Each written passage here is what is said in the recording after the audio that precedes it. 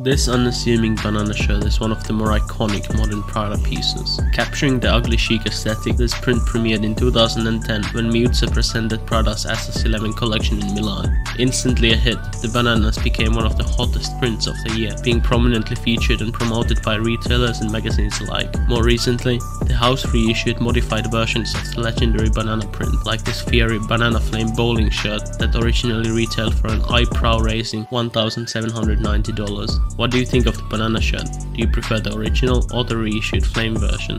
Let us know in the comments.